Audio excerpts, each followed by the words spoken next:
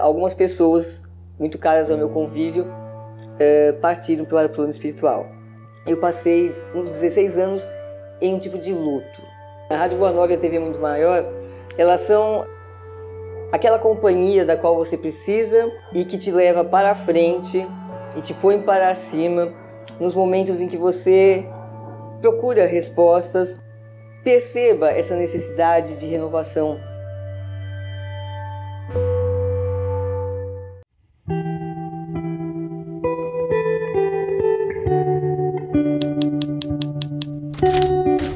Olá, amigos da TV Mundo Maior.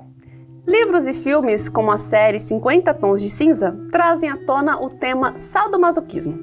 E hoje vamos falar sobre este tema sob a ótica da doutrina espírita. André, em resumo, o sadomasoquismo é a relação sexual entre uma pessoa sádica, que sente prazer a ver o outro sofrer, e uma pessoa masoquista, que gosta de sentir dor durante o ato sexual. O gosto por esse tipo de relação pode ser uma tendência que o espírito traz de outras encarnações? Chico Xavier nos deixou a frase, né? No campo do sexo somos todos aprendizes. E como aprendizes, nós ainda não dominamos né, esta importante energia, não dominamos de forma assertiva a energia sexual. Né? Então, é, a doutrina dos espíritos, ela vem e nos fala dos estágios evolutivos da alma humana ao longo da sua evolução. E nos coloca na condição de segundo degrau da escala evolutiva, de provas e expiações. Né? São cinco os degraus, por assim dizer, que foram é, codificados por Allan Kardec. Segundo degrau da escala evolutiva, espíritos que estão aprendendo a lidar com a matéria é, necessariamente não aprendem sempre de forma assertiva. Então, vez por outra, erram na lida com a matéria. E sexo é nada mais é do que uma energia que se desprende do espírito, cuja matéria tem uma participação muito grande. Então, na qualidade de aprendizes, esta tendência e outras tendências nós trazemos naturalmente das encarnações passadas, de como é que é, é, o que nós aprendemos acerca do sexo, o que nós aprendemos acerca da, do relacionamento a dois, né, de que forma nós lidamos ao longo dos nossos séculos é, com esta energia. As pessoas sadomasoquistas podem ter tido traumas e por isso ligam o amor ao sofrimento e à humilhação? Traumas, muito provavelmente, esses traumas estão presentes. Agora, ligar o amor a sofrimento e humilhação é uma total impossibilidade, uma vez que o amor é sublime, o, o amor é a essência da criatura que está em busca de Deus, da paz, da prosperidade, da abundância, da luz neste cenário do sadomasoquista, onde há um agressor e há um agredido, e aonde estes se comprazem com agredir e, e, ser agredido, não há a presença do amor, muito ao contrário, há a ausência absoluta do amor. Se o amor estivesse presente é, entre, é, entre as, estas relações, o que haveria era um servir ao outro e não um rebaixar o outro. Né? Então, é, não dá para a gente associar amor à prática sadomasoquista. Isto não é amor em absoluto. Os sadomasoquistas são vistos muitas vezes como pessoas pervertidas. O que nós podemos dizer sobre isso? Sigmund Freud é, caracterizou as estruturas psicológicas dos indivíduos entre neurótico, psicótico ou perversos. Né? E quando nós vamos à etimologia da palavra perverso, ela vem de perverter, que significa corromper, desmoralizar, depravar, alterar. Então, sempre que há uma alteração daquilo que é tido como normal, e esse normal nós não estamos sendo religiosos, morais, nessa caracterização de normal.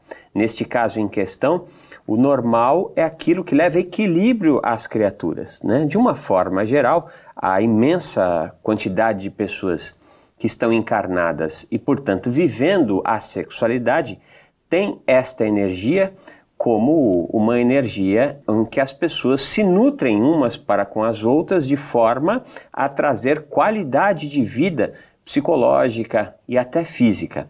É, no caso em questão do sadomasoquismo, do sadismo né, é, e do masoquismo, há uma alteração. Portanto, sim, nós podemos caracterizar como uma perversão, uma vez que há uma alteração da normalidade. No contexto geral, André, qual é a visão da doutrina espírita sobre o sexo? É uma benção, né? Um dos grandes presentes que o Criador nos outorgou. Afinal de contas, é através do sexo que as criaturas têm a santa oportunidade de reestrear no palco da vida. Infelizmente, por se tratar, ou melhor, nem vamos utilizar infelizmente, por se tratar de uma energia tão poderosa, afinal de contas, é a energia que dá a vida orgânica, que dá o início, o reinício da vida orgânica, por ser algo de uma energia tão intensa, vai por assim dizer, e como somos ainda infantes no uso desta energia, é, vez por outra, nós nos machucamos, por assim dizer, nos desarmonizamos com a energia do sexo. É como uma criança em um, eh, na hora da alimentação. Se você perguntar para ela, você quer alimentar-se na maior rede de fast food, é, ou você quer alimentar num restaurante vegano, vegetariano, ou pelo menos um, um, restaurante que traga uma, uma comida nutritiva, mesmo à base de proteína. Certamente essa criança vai dizer assim, não, eu quero refrigerante, eu quero a fritura, eu quero a batata frita e assim sucessivamente. Então é natural que nesta andância evolutiva, como ainda somos seres infantes, nós ainda não compreendemos as, todas as maravilhas do sexo. Para finalizar, André, como lidar com a sexualidade e os impulsos sexuais? Jesus vem e nos diz: Um novo mandamento vos dou, que vos ameis uns aos outros como eu vos amei. Né? É, na última ceia, no episódio conhecido como a última ceia, que nós infelizmente só nos lembramos que é o episódio que Judas traiu Jesus, é um episódio muito grandioso para o nosso aprendizado. E parte da narrativa deste episódio, Jesus lava e beija os pés dos seus discípulos e os convida que sejam uns servidores dos outros, e inclusive salienta, né? Aquele que quiser, ser o maior deve ser o servidor de todos os outros.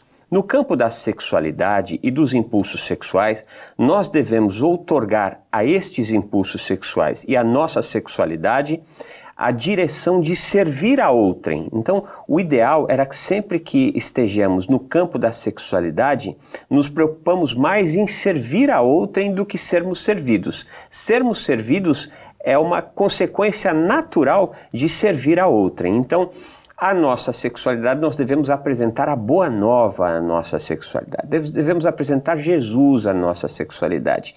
Sempre que estivermos na prática sexual, de que forma que nós podemos servir ao outro, acalentar ao outro, dar ao outro um instante de paz, de harmonia, de completude, de perceber-se amado, de perceber-se querido, e assim naturalmente há um enlace sexual extremamente assertivo e até evolutivo para as criaturas. No entanto, os espíritos nos trazem muitas de suas obras que há criaturas que direcionam a energia sexual para o campo das artes, para o campo da ciência, para o campo da benemerência, né? uma vez que sexualidade com Cristo, sexualidade com o Criador é servir, é amar, é estar em êxtase espiritual com aquela criatura. Evidente que as questões materiais, por estarmos no segundo degrau da escala evolutiva e ainda estarmos muito arraigados às questões dos instintos, elas vão se dando é, de forma gradativa, nós vamos direcionando essa energia ao seu fim é, educativo, evolutivo, que é o fim de servir, e assim é servindo que nós somos servidos. Né? Muito obrigada, André. Nós que agradecemos. E você que está nos assistindo, tem algum tema que gostaria que fosse comentado aqui no boletim? Então mande um e-mail para faleconosco tvmm@feal.com.br. Muito obrigada e até a próxima.